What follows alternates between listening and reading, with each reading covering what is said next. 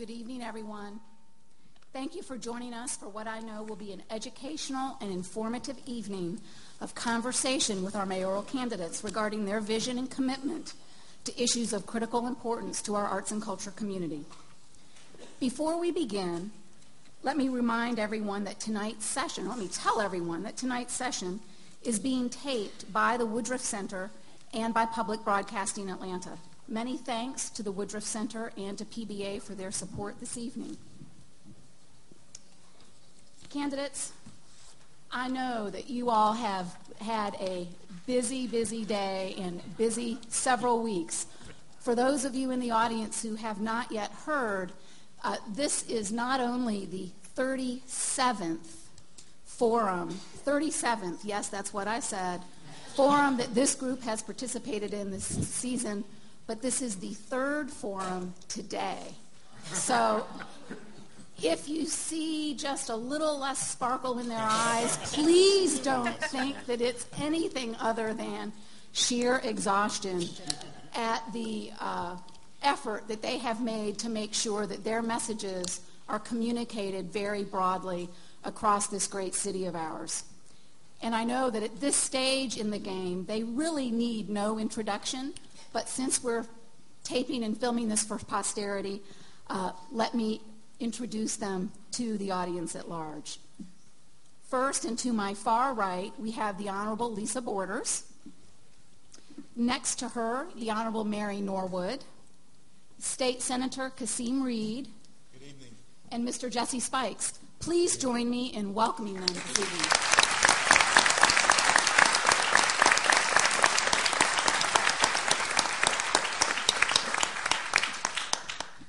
To our candidates, I say thank you so much for being here, especially given the heavy load that you have been carrying in terms of communicating your message.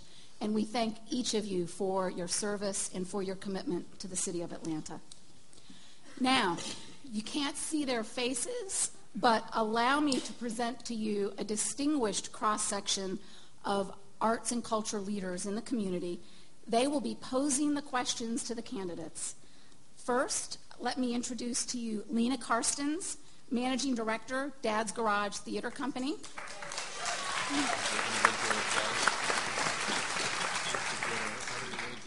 Second, let me introduce to you Joe Bankoff, Chief Executive Officer of the Woodruff Arts Center.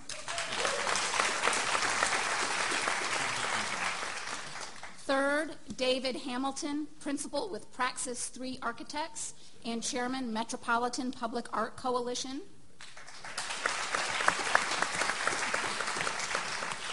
Fourth, Neil Barclay, Executive Producer and Chief Executive Officer of the National Black Arts Festival.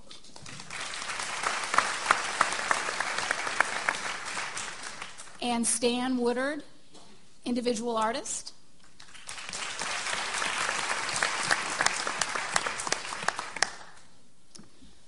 Tonight's questions will come from the cultural platform created by MAC and from questions posed by members of the arts and culture community. The cultural platform was developed in a series of focus groups that included representatives from nonprofit arts and cultural groups, public art advocates, and individual artists. The platform is built from five planks. First, funding for operational support. Second, development of cultural infrastructure. Third, installation of public art. Fourth, support for individual artists and cultural workers. And fifth, the integration of arts and culture into the city's major policy areas. Candidates were briefed on the cultural platform and asked to reply in writing to questions specific to each of the topic areas. Their written responses have been made public through the Public Broadcasting Atlanta website, lensonatlanta.org, and through direct emails to the arts and culture community. By way of orientation to tonight's conversation, we begin with the central question regarding each of your candidacies. What's your vision? But this one with a twist. What's your vision around arts and culture and its importance to our community? This question was submitted in advance by Atlanta citizen Allison Laura, and here specifically is her question. Our current mayor talks about her vision of Atlanta as a world-class city in which the arts and culture thrive. What is your vision of a culturally vibrant city of Atlanta? And if you're elected mayor, what will you put in place in the first six months to move us toward that vision? Candidates, we'd like to give you two minutes each. And Ms. Borders, may we begin with you? Certainly. Well, good evening, everyone. Good evening. Good evening. This is Arts. Good evening, everyone. thank you. It's good to be with you, and I want to thank all of you all for coming tonight. Uh, this election matters to every family that wants to be safe and secure. I want to be your mayor because I'm on a mission to make Atlanta a better Atlanta, a safe Atlanta, a strong Atlanta, an inclusionary Atlanta. An Atlanta that comes together to serve both its neighbors and that reaches beyond its borders. I envision an Atlanta that draws not only from the diverse artistic traditions of our neighborhoods, but from the best ideas from around the country to support them. The arts are the soul of the city. They tell the world what matters to us and how much we value our cultural life. The arts are also an economic engine.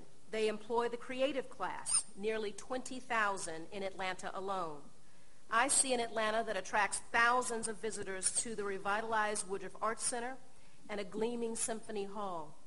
I see a city where sculptors and visual artists use rehabilitated spaces to create a window into the heart of who we are as a city. Atlanta has grown musicians, writers, and actors, and we will continue to be a destination for those who want to use their talents to brighten our city. But a vision must have the funds to become a reality. I am the only candidate in this race with a clear vision, proven leadership, and genuine management experience. I'm the only candidate to have raised $84 million for a nonprofit, and I'm the only candidate who has directly brought jobs to the city. I'm the only candidate who's pledged to pay as I go. I look forward to having this conversation with you tonight, central to arts and our great city. I love Atlanta, and I want to be your mayor on a mission. Thank you, Ms. Borders. Ms. Norwood? And I'm Mary Norwood and I love this city. I love every corner of this city, and I understand every corner of this city. We have a great opportunity to springboard the arts as we redevelop the city. There are so many unexplored secret places that are all over our city, many of them along the Beltline path others along our old abandoned industrial corridors. There are wonderful buildings that are ready to be rehabilitated and have artists and colonies in them. It makes a real difference in a city if people know where the art is and know what's going on. All of us who have traveled across the globe go to cities and the first thing we do is to say, what are we going to see? What plays, what museums, what exhibits, and I want that to be our Atlanta. So as mayor, what I will do is to springboard the redevelopment of Atlanta to work with the arts and cultural groups in the city to make sure that you have places that you can perform, places that you can exhibit, and that we make it very clear all of the great things that we have going on. One of the things that a mayor can do uniquely is to be the spokesperson, is to be the advocate, is to bring attention to all of the things that are happening in the city. And I would like to be that person. I think that we have an incredible opportunity. We have the basis with our big facilities, and then we have lots and lots and lots of smaller groups and facilities that we can draw people to. And to do that, we have to do the basics. City Hall has to work well. The city has to be safe so that you feel very comfortable going anywhere to enjoy any performance. So I want to be the mayor that just gets it done and we have lots of new venues and lots more people coming to our venues. Thank you. Thank you, Ms. Norwood. Mr. Reed. Good evening. To the Metropolitan Atlanta Arts Culture Coalition, I want to thank you for having this conversation uh, tonight. Uh, I am Kasim Reed, and I want to be your mayor. And I want you to know that I believe that great cities must have great arts and that I will be a mayor that is, is committed uh, to bringing that and supporting what we already have in Atlanta. Specifically, you ask what I would do in the first six months if I am fortunate enough to be your mayor. Uh, I will start by enforcing the ordinance that Maynard Jackson put in place uh, so many years ago uh, that said that 1.5% of, fun- of funding for construction in the city of Atlanta should actually be dedicated towards the arts. The people in this room know tonight that that is not the case.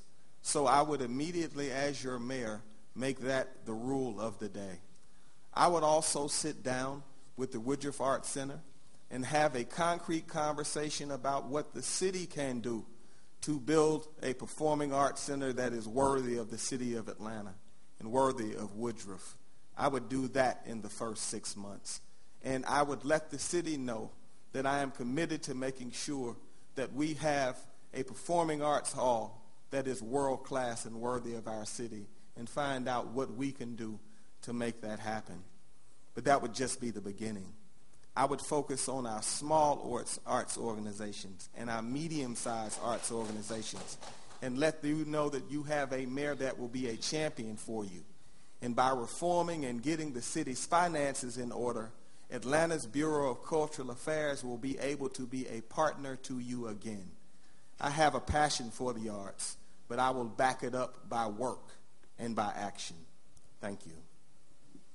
Thank you, Mr. Reed. Mr. Spikes. Uh, good evening, Jesse Spikes. Um, my vision for Atlanta is very simple. It is that Atlanta will be a city uh, that's able to afford both its most basic needs and the grandest designs of its present and its future. And what I mean by that is Atlanta will be a city that will be able to provide the most basic services that we need, like public safety, uh, like fire protection, uh, in the way that it should be provided to keep us safe.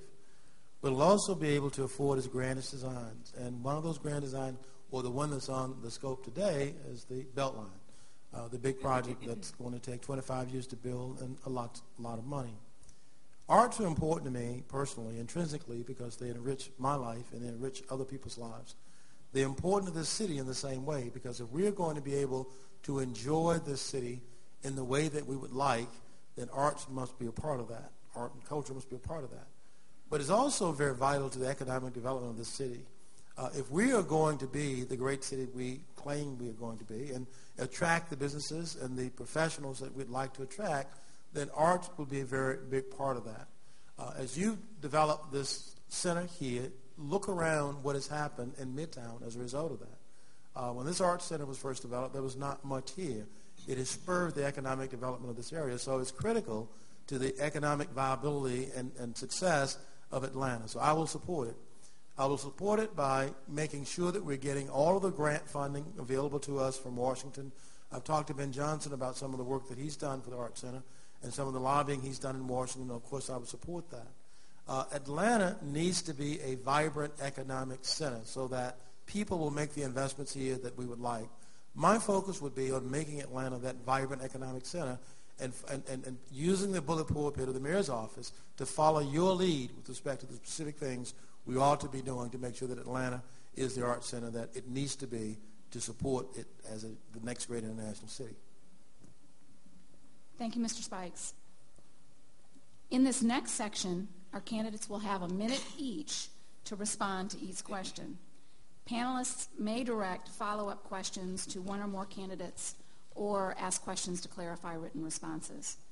The first plank in our cultural platform is funding for operational support. Panelist Lena Karstens of Dad's Garage will be asking the questions. Lena. The City of Atlanta is home to more than 200 arts and culture organizations. A 2007 economic impact study of the arts in the City of Atlanta found that more than 5 million people attend cultural events every year. Nonprofit arts and culture organizations generate almost $300 million in revenues annually in the City of Atlanta. Our organizations support over 8,200 full-time jobs, and every dollar contributed to nonprofit arts groups generates an additional $13 of economic impact, according to a 2001 study by the Metro Atlanta Regional Arts Task Force. Each of you has acknowledged the importance of the arts and culture to the economy as well as to the civic life of Atlanta. You also know that the task force convened by Mayor Franklin found that annual public funding of $10 million is needed to put Atlanta on an equal footing with the support of other comparable cities recognizing the city's current budget challenges, Are you prepared to commit to look for ways to provide the needed public funding? If so, how do you envision accom- accomplishing this goal? May we begin with Ms. Norwood? One of the things that we need to look at is whether or not we want to take the, a penny of our sales tax, to take a new sales tax penny and divide it among arts, green space, and transportation to deal with three of the main um, issues that we have in the city. That would be something that would have to be sold to the citizens, but it certainly is something that we ought to look at. People, when the citizens several years ago had approved the quality of life bonds, that was $150 million that the citizens approved because it was specifically for sidewalks, for improvements that people knew were going to be dedicated solely to those purposes. So that would be one thing that would be done. The second thing is to look at the revenue that we have now. We have to get the city's financial house in order. In doing so, then we will establish the credibility to be able to dedicate funding to the arts. Thank you. Mr. Reed. Well, I believe that we must start uh, by honoring our city's current ordinance. Uh, and as mayor, uh, I will do that. I believe that that's the first point. I think that the second step that we have to take, uh, I believe, is to have the mayor lead a large conversation and really explain and make the case to the people of Atlanta how vital arts are and that it doesn't benefit just one section of the community, but arts really runs throughout Atlanta and it significantly improves the lives and possibilities of our young people. We need a mayor that believes that and leads that conversation. Uh, that brings me to the model that I believe is most appropriate.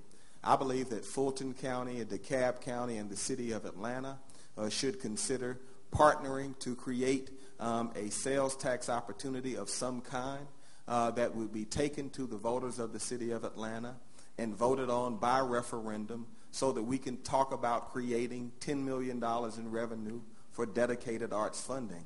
A mayor should lead, lead that debate and conversation.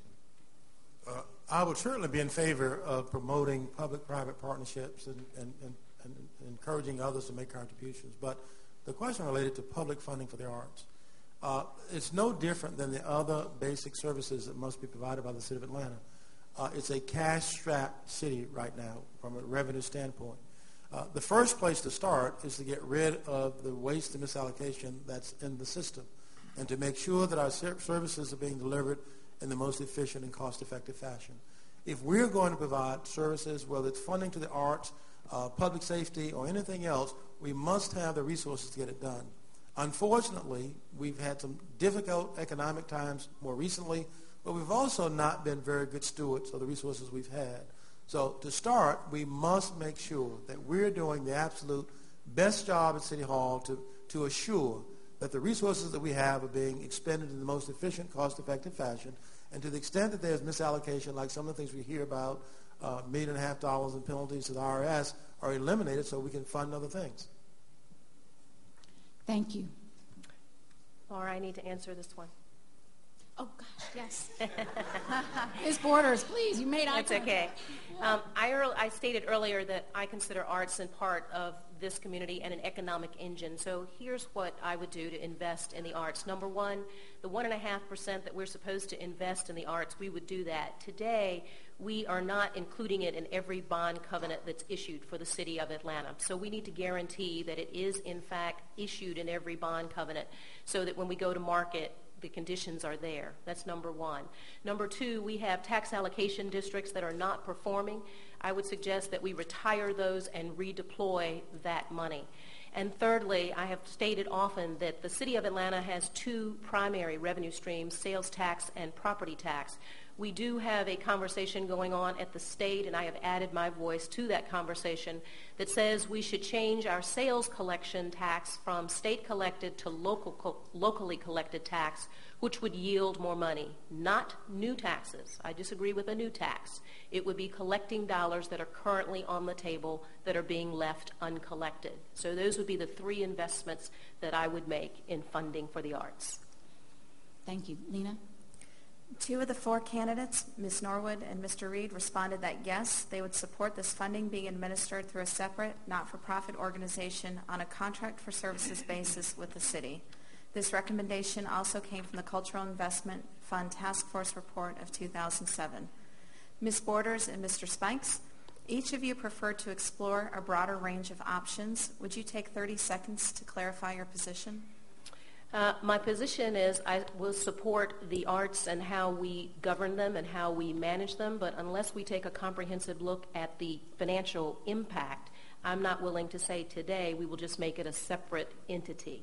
And so for that reason, I would want to explore and actually crunch the numbers. I don't believe in going headlong into any situation without being sure what the impact is going to be. So my uh, statement would be that I want all the options on the table, and I do, in fact, want to support the arts in every possible way, but I want to know what the repercussions are going to be. Thank you, Mr. Spikes. There are two approaches to it. One is using the bullet pulpit or the authority of the mayor's office to encourage others to be involved, public-private partnerships. I would certainly do that. Uh, but providing for the arts is like providing for any other basic service in the city. You must have the financial wherewithal to do it. And before I would make a commitment uh, to, to, to designate or dedicate a stream of income to any particular area, uh, I would want to be able to evaluate uh, what services we're providing in all the various areas uh, that it may be needed to reallocate uh, from something else to the arts or from the arts to something else. And so before I make a commitment in a particular area, I want to be able to assess the overall situation. Thank you. Lena, thank you. The second plank in our platform is cultural infrastructure. For those questions, we turn to Joe Bankoff, CEO, Woodruff Arts Center. Again, candidates, you'll have one minute each to respond to his questions. Joe. Thank you. Atlanta's existing cultural facilities have been built almost exclusively with private dollars. Now that makes Atlanta very different from other cities that we compete with for jobs and investment. Many put significant public dollars into their cultural facilities, and these include Charlotte, and Denver, and Dallas, and Minneapolis, and Miami, and Orlando, and Salt Lake, and Seattle, just to mention a few. Successful arts and culture capital projects have consistently received on average about a third public funding in some fashion.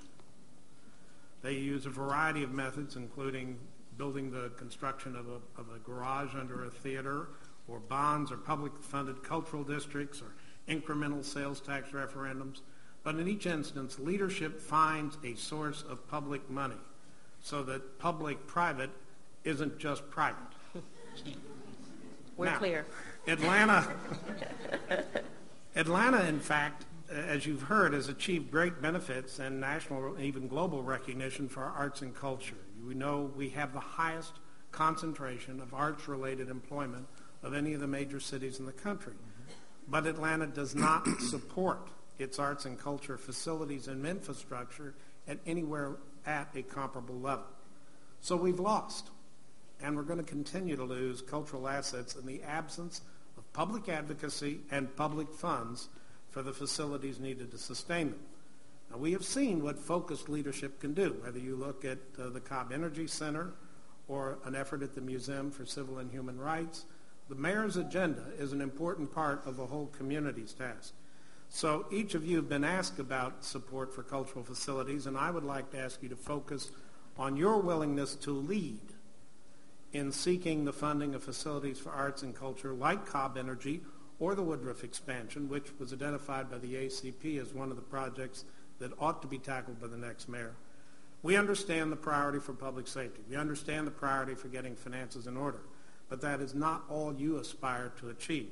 So my question focuses on your leadership and support for putting public dollars and a finding a way to support projects that you feel are important to Atlanta and the arts. Will you in, will investments in arts and culture facilities and infrastructure be one of your top two or three priorities for advocacy and public funding? I think Mr. Reed gets to start. Yes, we begin with Mr. Reed. Thank you. Uh, the answer is yes, and I didn't rate, wait to run for mayor to get started. Uh, as you know, uh, this legislative session, uh, I carried in the Senate the legislation to provide tax relief for the construction of the new performance hall and for the Civil and Human Rights Museum. And it was not an easy process, as you know. So I have shown my commitment to the arts by my work. Uh, I believe that, and I said in my opening statement, that I am absolutely committed uh, to our new performance hall. But more than that, I believe that I am uniquely qualified to get additional help from the state of Georgia as I have on a number of projects for the city of Atlanta.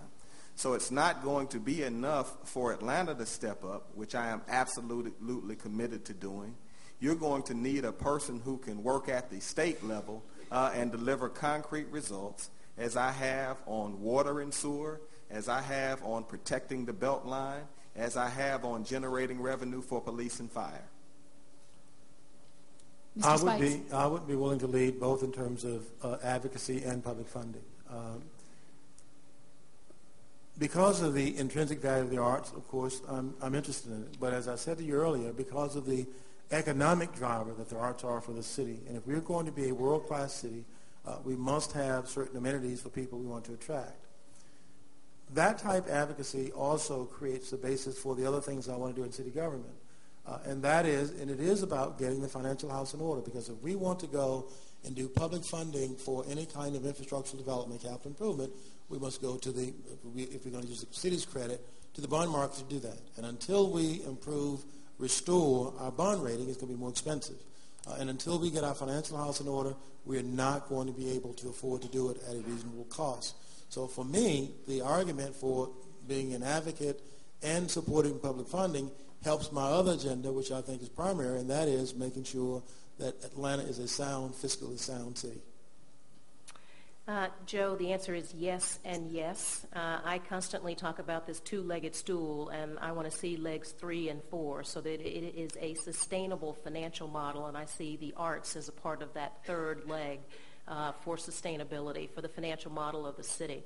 So I would suggest that public-private partnerships should be two-sided. It should not just be all private, although in my day job, you are very well aware that I have a public and a private hat at the Grady Health System, and we've raised $84 million in just nine months. So I am clear that the state could help us. I am not clear that they will help us. They have not helped us on water. They have not helped us on transportation. They have not helped us on Grady. So I think going back, my first act would be to pass an administrative order to say we must, at every bond issue, ensure that the 1.5% does in fact get designated for the arts put in the bond covenants and tracked. That's number one. And number two, that the TAD dollars get retired and redeployed, those that are not working. And, and Joe, my answer is yes and yes. Uh, the economic argument is very strong, and the mayor needs to convey that to the business community, to the residents of the city, and to do everything in his or her power to make sure that the funding becomes available. I am delighted with the new performance hall uh, when I when I met with you and your staff, and it is a fabulous opportunity for us in Atlanta, and should be and absolutely we need to we need to get there. But what we have at the city is sins of our fathers. We have so much debt and we have so many encumbrances on our general fund that it is going to be it is going to take a lot to clean that up to then look at how we get new funding for anything. Mr. Reed, 30 seconds. Uh, I wanted to push back a bit on my friend uh, Ms. Border's comments about the state failing to help on our major issues. First of all, we did pass the sales tax legislation that did will help Woodruff. We did that this session. Second of all, uh, the state provided $500 million in low-interest loans and continues to do so for the city of Atlanta's water and sewer repair. We also passed a municipal option sales tax, which uh, provides for 40% of the funding is now paid by people outside of the city of Atlanta. And regarding Grady, we passed a super speeders bill that generates $23 million in additional revenue that Grady Hospital gets a portion of because of the amount of indigent care that Grady produces. So that statement was inaccurate and false. Well, Ms. Borders. And let me push back. it's getting interesting now. Uh, Grady does not have, or the state of Georgia does not have a trauma funded network is what I was talking about. Mm-hmm. And on the water and sewer issue, I wasn't talking about Atlanta. I was talking about a state water plan. As you know, Judge Magnuson out of Indiana, if I'm not mistaken, has ruled that we can no longer take water out of Lake Lanier. So I'm talking much longer term. I appreciate what's been done thus far for the city of Atlanta, but I am talking about the entire state and economic development for generations to come. Thank you. Thank you. Let's. one, one round of rebuttal per question. New ground rule. Thank you all. It's been a long It's day. been long. It has been a long day. I figured- Joe. I, I, uh, I hear everybody loud and clear on the will you, and I know you want it. The question I have now is the how's you. The question I want you to think about, and I've heard pieces of it, but we'll go back to this with both state and local and other reallocations. How would each of you propose to meet the challenge of supporting the city's cultural facilities to bring Atlanta in line with the other great cities in the country in the support of the arts and cultural capital infrastructure? Mr. Spikes. You know, the, the advocacy part of it is very easy because you'd simply be encouraging people to use their other people's money uh, to get it done. And so you can go to the state, go to the federal government, corporations, individuals. So that's easy. The hard part is the public funding of it. It's, it's hard because funding police officers today is very difficult. Funding fire stations today is very difficult. And it's not just a matter of having the revenues available, it's also the cost of funding once you go to the credit markets. So the most significant thing that the next mayor must do is to make sure that Atlanta is a financially sound city. And that starts with being good shepherds of the resources we already have. We've not always been that. I mentioned the $1.6 million we, we're wasting by paying it to IRS for not paying the pension benefits in time. Uh, there, there, there are endless examples. I mean, an IT system that should have cost us $22 million, we spent $65 million on. So the, the most important thing that I will do as the mayor of this city is to make sure that we have a city that will be able to afford its most basic needs and the grandest design of its future. And part of that will be the arts. Thank you. Uh, one of the things that we are not doing well is enforcing the law that's on the books and tracking the dollars. So I think part of the how, obviously, is being able to identify the money, track the money, and account to the citizens how the money is being spent. On my website, bordersforatlanta.com, there's a page called Accountability Atlanta, which is the example of how I will govern that demonstrates where money is coming from and where money is going. And I think that would give a much more clear and transparent view of what's going on with the city finances. So the how is actually enforcing the ordinance that we have today in place, and I don't know that any of us would agree that we want to take it away. We want to make sure that it works and works well. So I think enforcing what's there today and redeploying dollars that are not being spent well in our tax allocation districts because the arts, in my view, are an economic engine and do, in fact, qualify for those dollars. As I, as I look at where we are today, we have got to restore the public's confidence in the city's ability to manage its money and to be transparent as to where its money, where its money is going. We have not done that over the past 20 years that I have been involved, and the opaque system that we have has been troubling to me and is one of the reasons that I am running for mayor. So to be ruthlessly honest, we have got to clean that up first before I can go back to citizens and say we want to float a bond issuance to help build a new symphony hall. That's got to be done first. But that being said, we in this past dozen years have floated bonds for all kinds of different projects, whether it's homeless opportunity bonds, whether it is uh, um, housing opportunity bonds, whether it's just a, a myriad of things. So yes, I will work with you to build the public support. Y'all are doing a great job tonight. I love the fact that you are all here united. I think that is a fabulous, fabulous step, and I will work with you to make that happen. Well, I think I've been in the dead column, and I will be in. I will continue to be in the dead column. Uh, when Woodruff needed help, I acted, and that's what I will do as mayor. Uh, the fact of the matter is that the ordinance regarding public funding for the arts has not been enforced for the last seven years. So I think to sit here and say that it will be enforced, the question should arise, well, why do you not advocate for the enforcement during the last seven years? So we must certainly do that. But we also have to have a big conversation with the leadership of the, of the Woodruff and other important partners to ask what can the city do to really open up the city's books and say this is where we are right now, but what facilities and capabilities can we provide you to advance what we all agree is a very significant public purpose uh, which is the arts for our city. I would do that as mayor. Enforce the ordinance. I would advocate at the state level.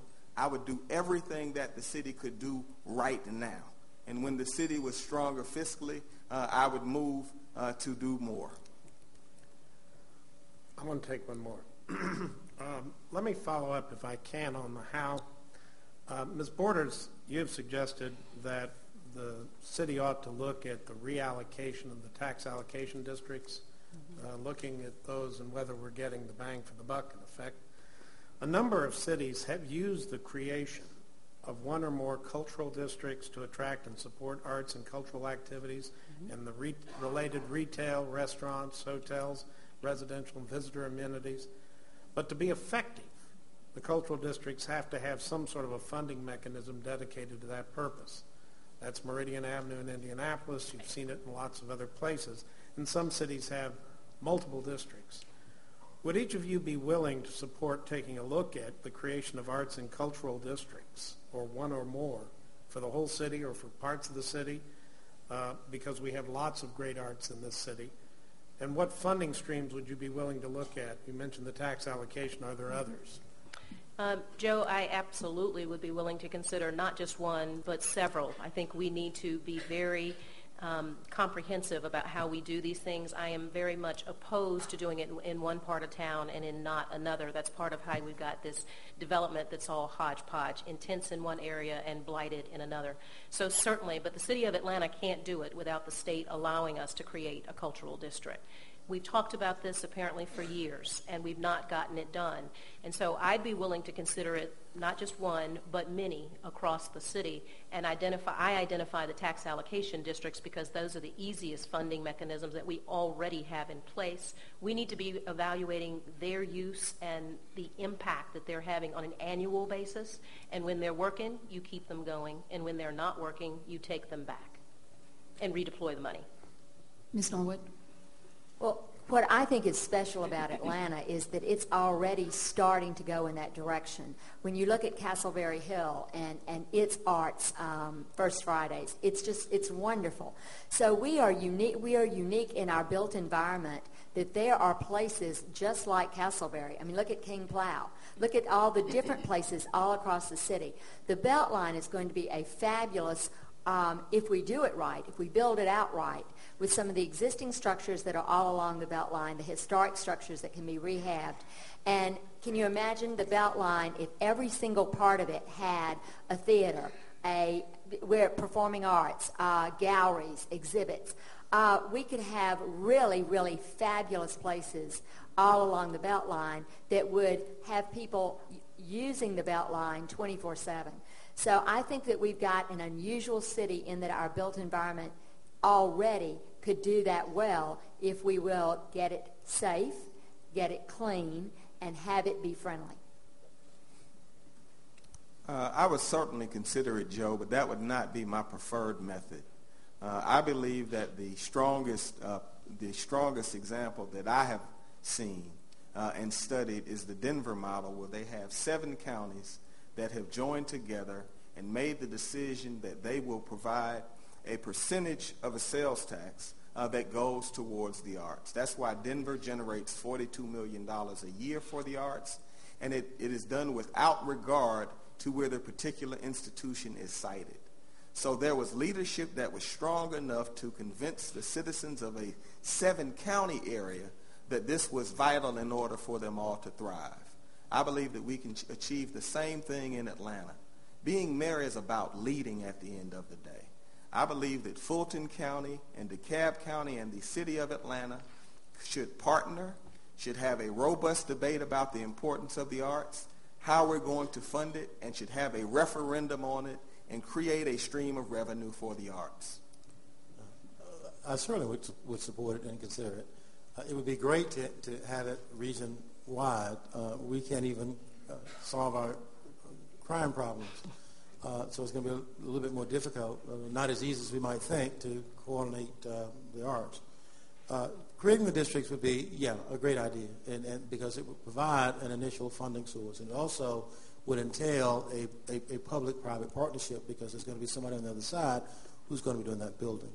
but again, I mean, yes, so I would consider that. I would be willing to uh, create the districts that make sense. Uh, but again, it all comes back to the city, what the city can do. And it all comes back to the city's credit standing. It's about having the funding. It's about having the credit standing that will enable us to go to the market and borrow the money that needs to be borrowed at a decent interest rate.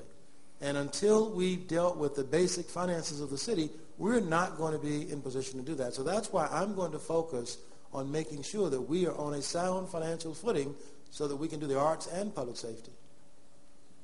Thank you. Thank you all. Joe, thanks. Our next questioner is David Hamilton, Chairman Metro Atlanta Public Art Coalition and Principal of Praxis Architects 3. He will engage our candidates on our third platform item, public art. Candidates, you'll have one minute to respond to each question. And just to shake it up, we're going to start with Mr. Spikes and rotate back the other way. Mr. Spikes, sir, to you. Thank you, Mara.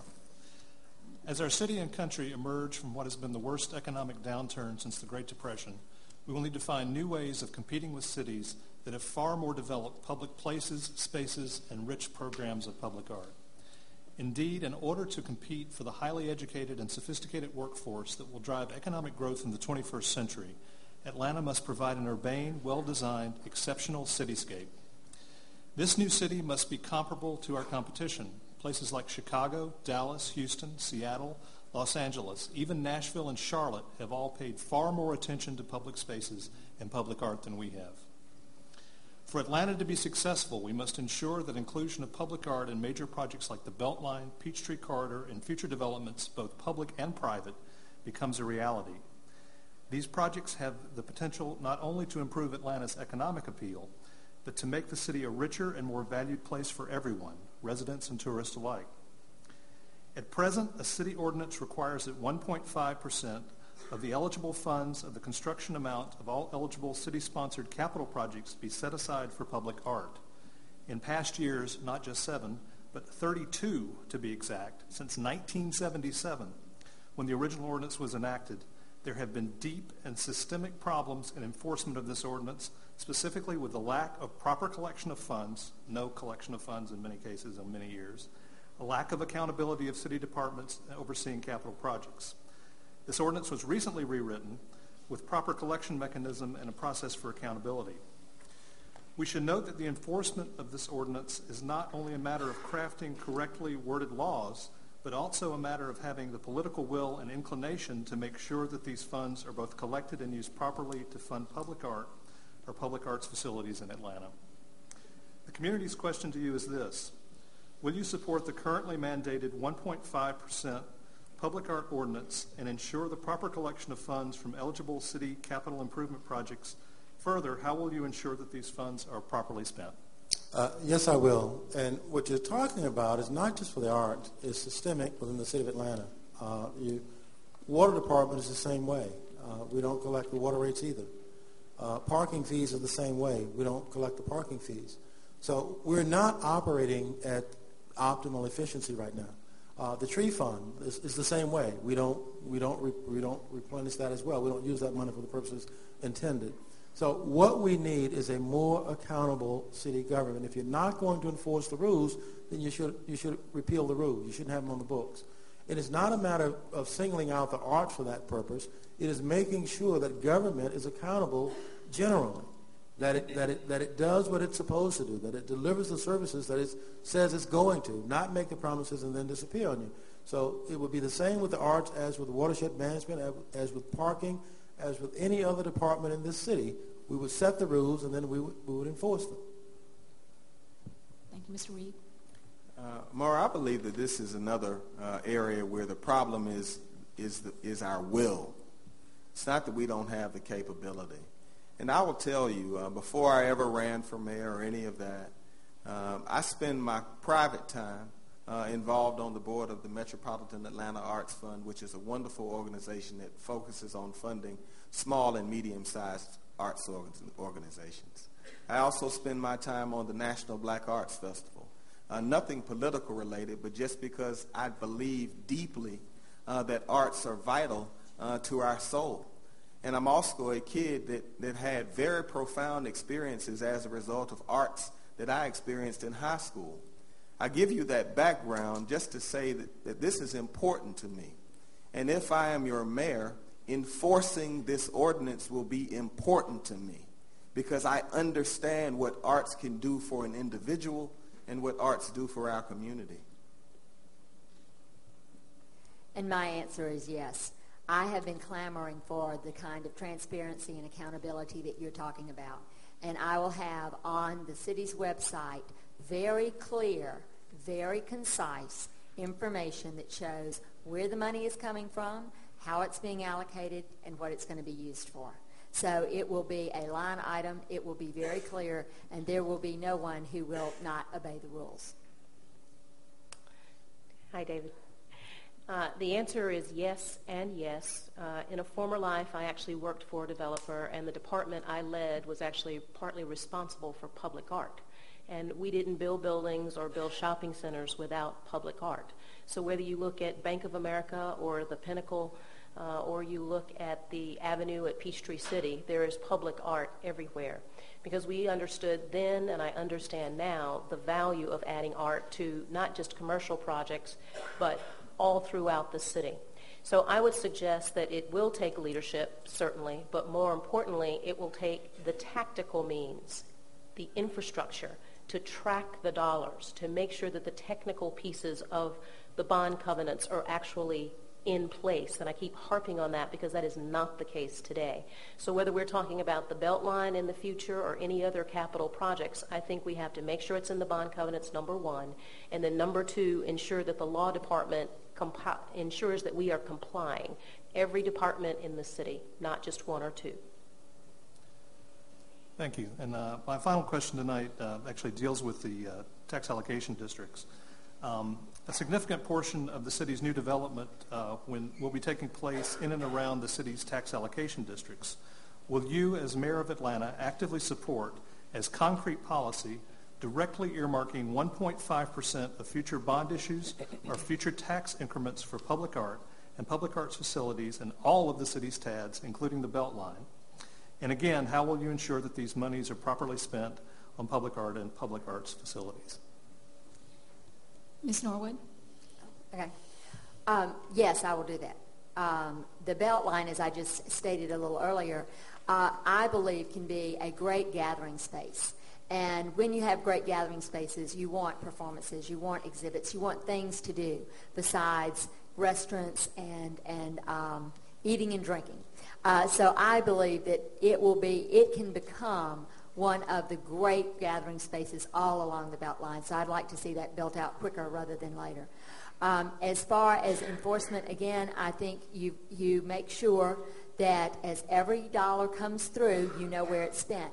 That is not the case today with many of our funds, including the impact fee funds that we have that are not transparent. Ms. Borders? Oh, oh, I'm sorry. I thought you were going to Mr. Reed.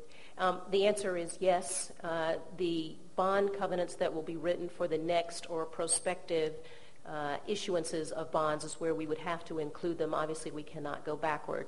So absolutely, we expect that the Beltline will be an economic engine as well. So it has its own tax allocation district, which is very different from the other nine. It's circular and is throughout the entire city, which would also allow us the opportunity to distribute public art all across the city as opposed to one linear uh, corridor, which is how the other Beltline, or excuse me, how the other tax allocation districts are constructed. Mr. Spikes? I would like to, uh, but I, I, would not commit to do that tonight. Uh, as we go forward with these projects, uh, there are going to be a lot of competing interests involved. Uh, my job as mayor will be to make sure that when these interests compete, we have a process in place that will get them resolved fairly and in the best interest of the city. Art is very important to me, uh, as are a lot of other interests in the city.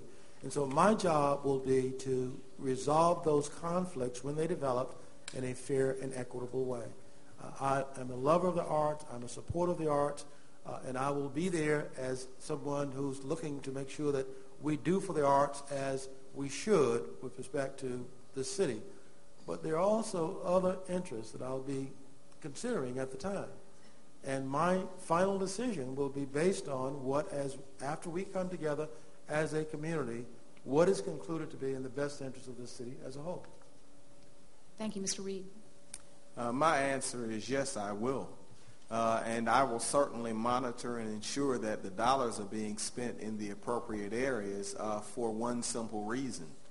If Atlanta is really going to move to where it should be from an arts standpoint, we're going to have to start making very bold and clear decisions and, and staking out a position and enforcing our own laws and ordinances.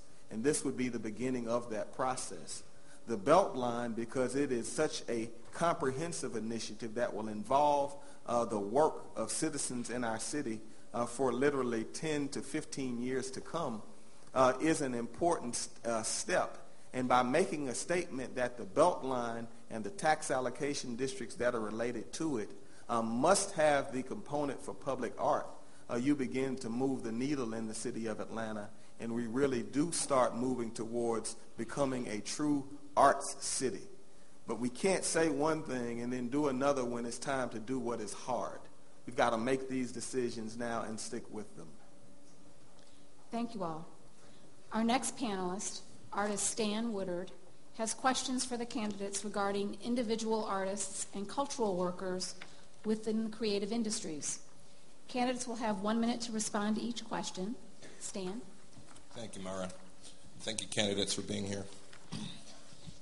The city of Atlanta has the largest per capita employment in the arts and culture industry of any American city.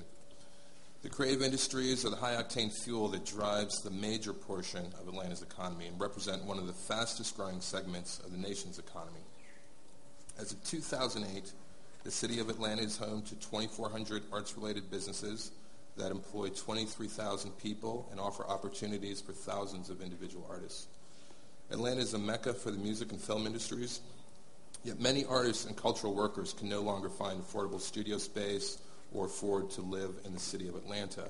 And you can uh, keep in mind that this neighborhood, um, Midtown, that we're in, um, at one time was a de facto organically grown arts district, and that's changed over the past 30 years. And I can argue that Castleberry Hill, uh, which was heavily uh, populated by artists and small, almost invisible arts organizations, um, is quickly changing um, as a developer's dream.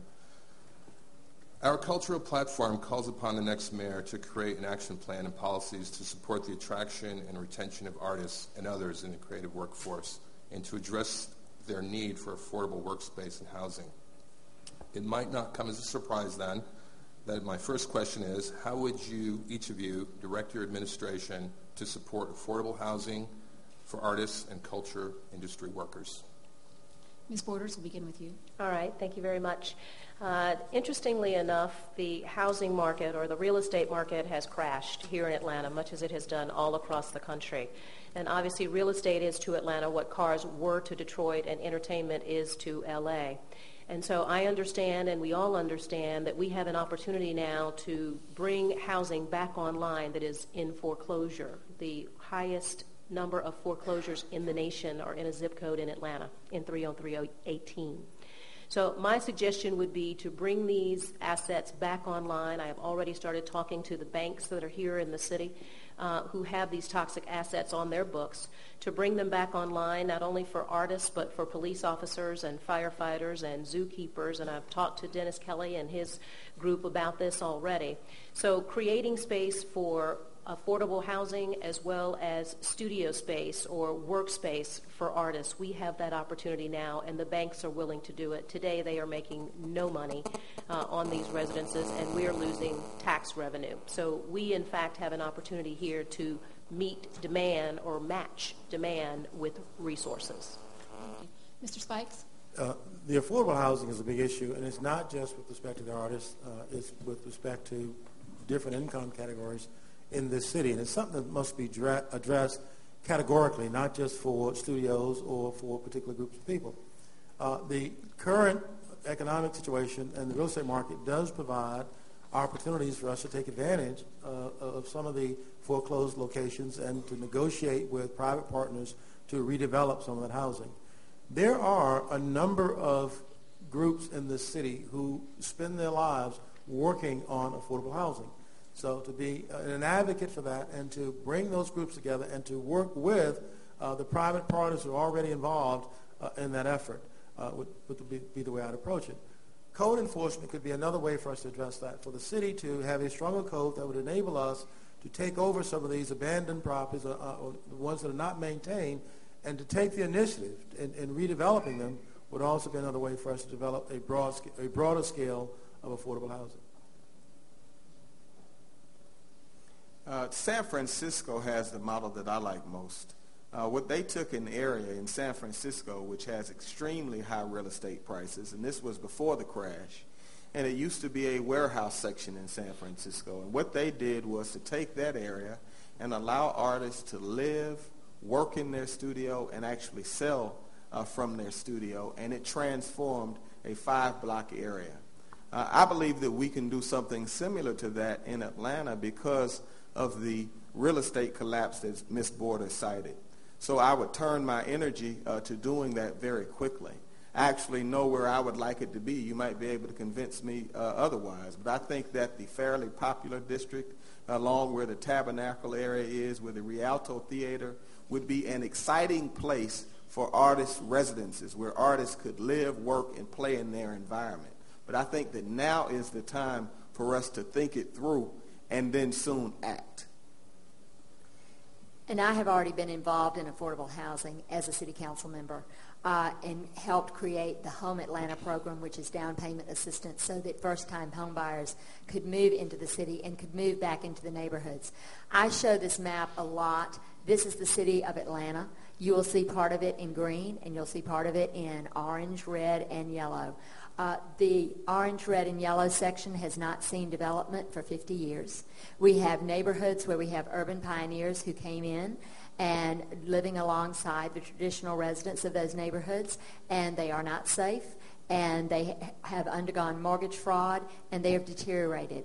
But they are ripe for exactly what you're talking about. And there are neighborhood commercial districts and warehouse districts all throughout our city not just in one or two places. So we have the built environment ready to go if we get if the city does its job in getting the city safe and getting the city cleaned up. Thank you. Um, I have a question here that was sent in by arts community member Brad Casey, and um, it really is a direct follow-up because I think almost I think each of you spoke about um, reclaiming some of these so-called toxic assets. His question is a little bit different. With affordable space being the primary concern of many arts organizations and artists, and the city owning a great deal of real estate, including buildings and even a few theaters, Mr. Casey would like to hear how you will leverage the city's existing physical assets to help provide affordable rehearsal, studio, and performing spaces for artists and arts organizations currently struggling to produce and perform within the city's limits. Mr. Spikes, we'll begin with you. Well, you know, an example of that is True Colors Theater. Uh, it was down at the 14th Street Theater. Uh, it's been a number of different places. Kenny Leon uh, was at the Alliance for a long time. Now they're operating that facility. They're operating True Colors out of the uh, Arts and Cultural Center in Fulton County down on New Hope Road. Uh, that's a perfect example of how you take a public facility and you partner with a private entity to make it work for the community. Now, the city is not going to be able to, we can't afford police officers today, so it's not, I'm not going to sit and tell you that I'm going to go and redevelop all these properties that we own uh, to, to, to make it affordable. What I will tell you, that I will be there ready to partner with you to make available to you the resources that we have so that they can be redeveloped. And if we ever get to the point, and we will someday get to the point where we can make direct investments, then I would be willing to do that as well. But in the meantime, you got to help me, and I'll work with you to get it done. Stan, I actually think that's an, an, excellent idea. I hope the, the person that wrote the question doesn't mind hearing it again on the campaign trail a little bit, uh, because I just think it's sound.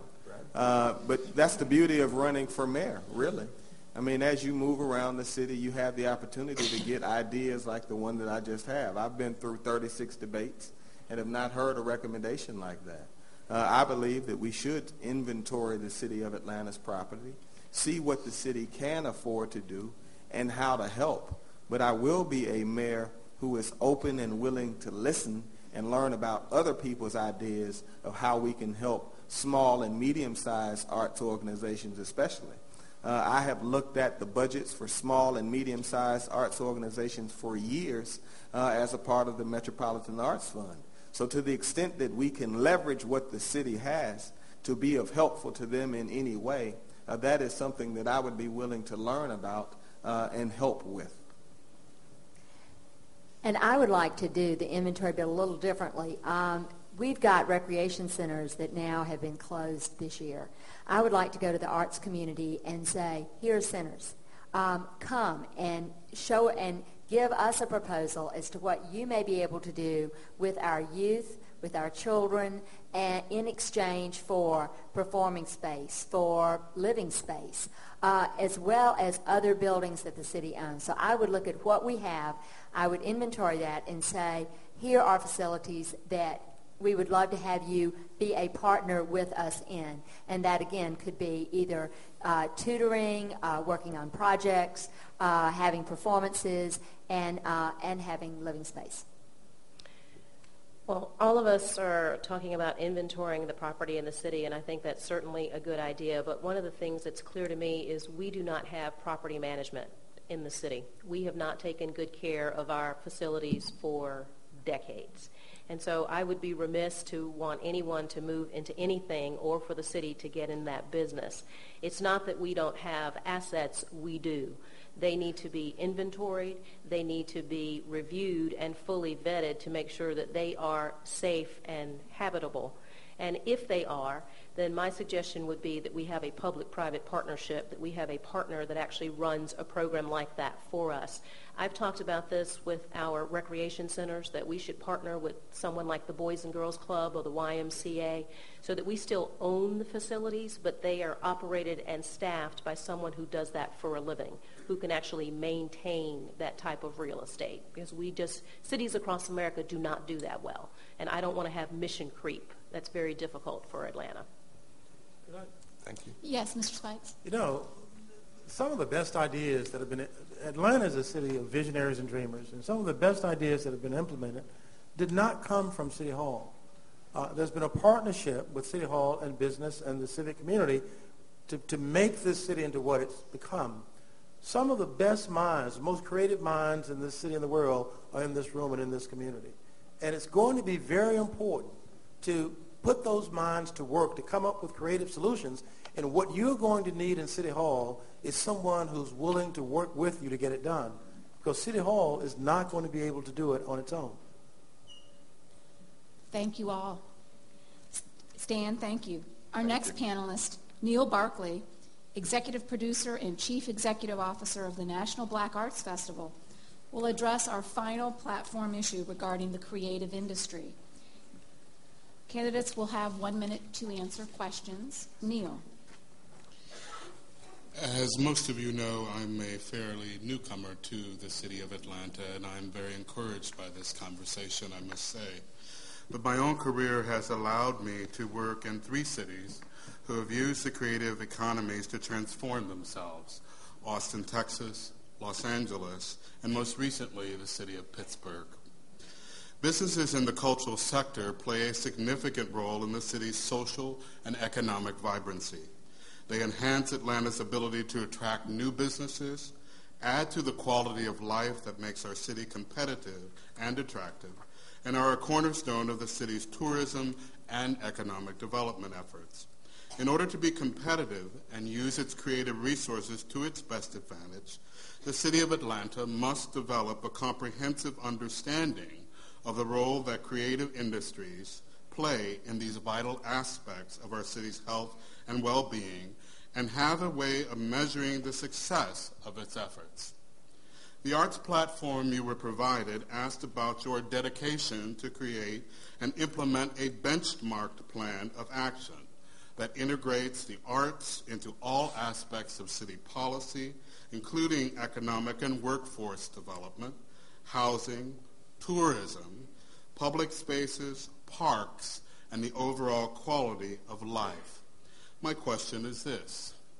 When the arts community creates a report card for your administration, by what benchmarks would you suggest we measure your administration's success in achieving the goals that you have outlined for us this evening? We'll, we'll, we'll start with Mr. Reed in answering this question. Well, you came into the market with a bang, Neil. well, Neil, first, welcome to Atlanta. We are so glad that you decided uh, to come uh, to our city. I believe that tonight is an appropriate measure.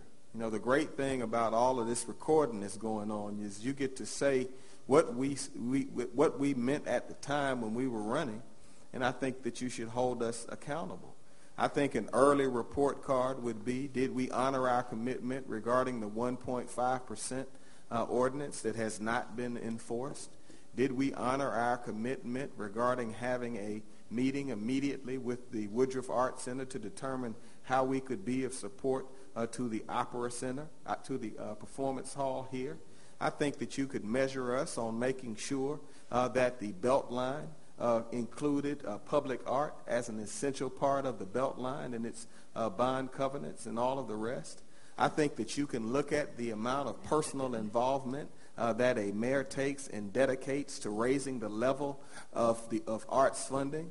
And I think last and finally, you can look at whether a mayor led a bold initiative for regional funding of the arts that gives us a perpetual revenue stream that moves towards the $10 million goal.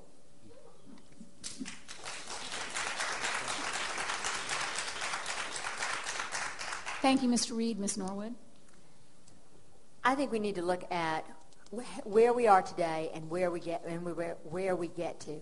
How many performances, how many exhibits, how many new artists have moved into the city?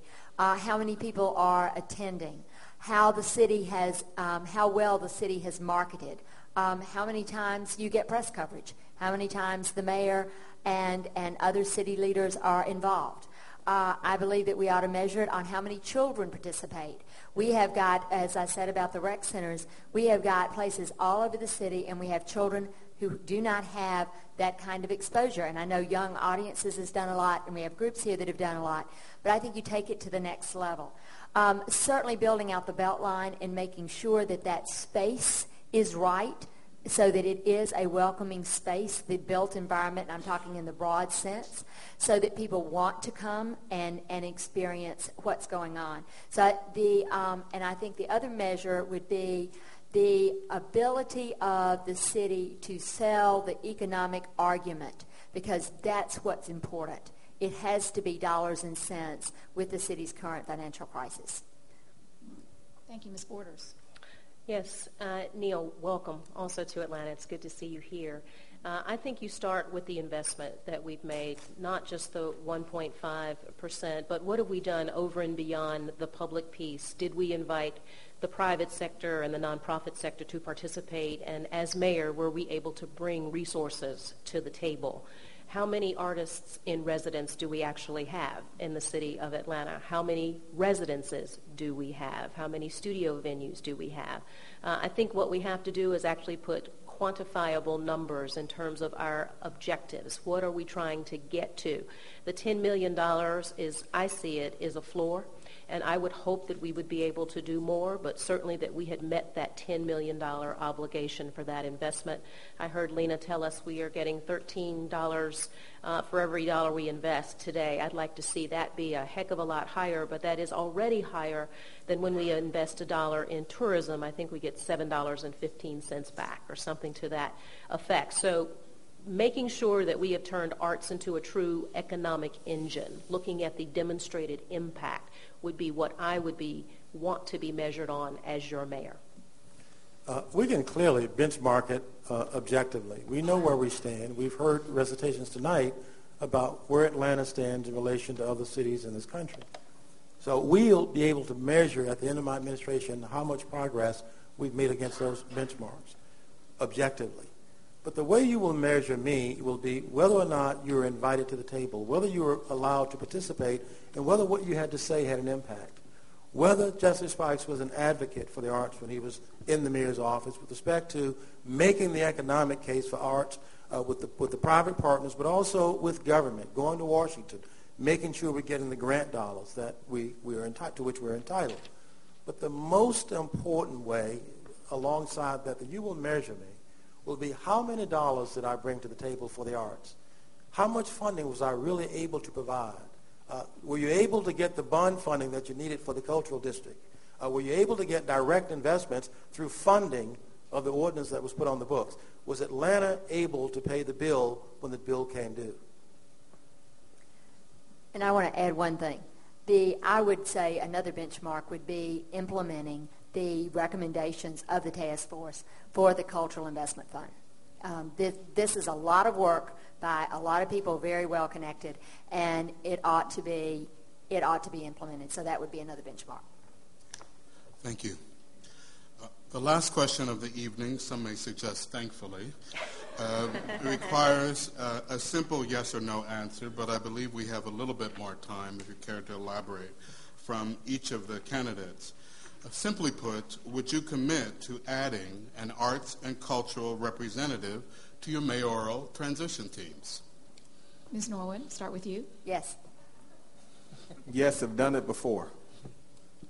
Yes. Absolutely.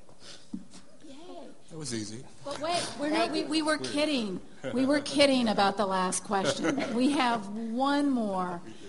Um, I think the audience would agree that our candidates have done an absolutely stellar job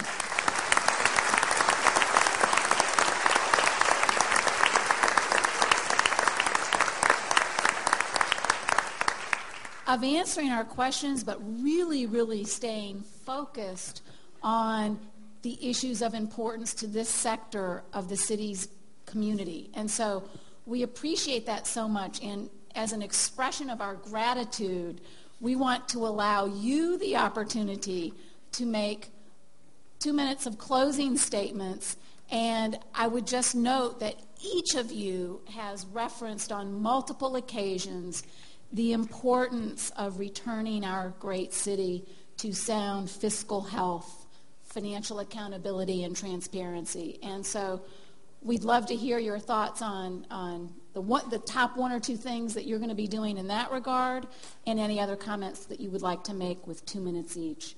And we will begin with, uh, I think that was. Start on the other end. I got to start, so try to be fair. Yeah, you know, I think we can start with Mr. Spikes. Trying to be fair.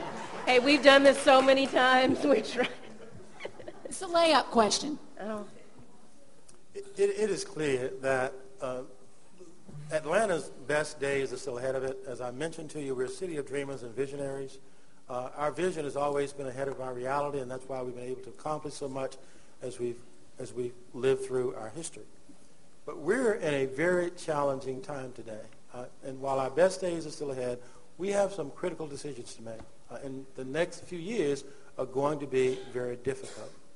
Atlanta is in a crisis and it needs a new skill set. Business as usual has not gotten the job done. Uh, we're in a financial crisis, and talking about problems does not get them solved.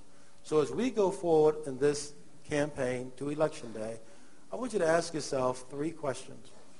The first one is, uh, who has the skills to get the job done? Uh, clearly, we're in this crisis, and we've had people in City Hall, and they have failed us. And we, I'm asking you not to send them back and give them the opportunity to fail us again. It is time for Atlanta to have a new perspective and fresh ideas. We need people who can not just identify problems and complain about them sitting up here, but who can also go down to City Hall and solve them. I have developed that skill set. I, am, I know how to investigate, solve problems. I have the financial and business skills needed to resolve these very complex financial business issues. The second question is, whom can you trust to get the job done? As I said, we've had people in City Hall through now, and these problems have developed. If you want to know what someone is likely to do in the future, uh, look at what they've done in the past. We cannot afford to simply keep talking about these problems. We must take decisive action. And the third question I have for you is your job as, as voters. What is your job? Your job as voters, our job as voters to send to, is to give ourselves, our children, our neighborhood, our state, our region, the very best chance it has of being successful in taking its place in the regional in, in the global economy. And I ask you to ask those three questions and answer them honestly in the mirror. And whatever you decide in that process, we will be fine. Thank you, Mr. Reed. Mar, I want to thank you uh, for being such a gracious moderator. I also want to acknowledge Flora Maria, um, who is adding so much to our city for the Metropolitan Arts and Culture Coalition. Uh, I want you to know this. Uh, I want to be your mayor because this city has been very good to me. It allowed me to serve for four years in the Georgia House and seven years in the Georgia State Senate, uh, representing the city of Atlanta's interests.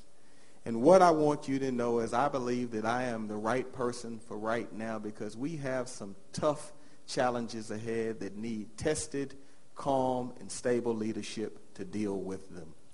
When Atlanta has faced challenges, I have gotten a call. When it was time to fund our water and sewer challenges, I carried the legislation that got it done. When it was time to pay for more police and firefighters, I merged the municipal court and the traffic court and got more money for police. When the Beltline was in jeopardy because of the Supreme Court decision, I got the call and co-wrote the constitutional amendment that allowed the Beltline to receive its full share of funding in the future. And when the Woodruff needed tax uh, assistance, I got the call and delivered. What we need is a mayor right now who will stand and deliver again and again and again, and I want to be that mayor for you. I also want you to know that my feeling about the arts and culture in our city did not come when I started running for office, and I, I don't th- I'm not saying anything bad about anyone else. What I am saying is, is that if you support me and make me your mayor, you will have a person that has a genuine interest and passion in small and medium-sized arts, but who understands the significance of the Woodruff and how powerful it is in moving our city forward. You will have a friend who stands and delivers for you again and again and again. Thank you.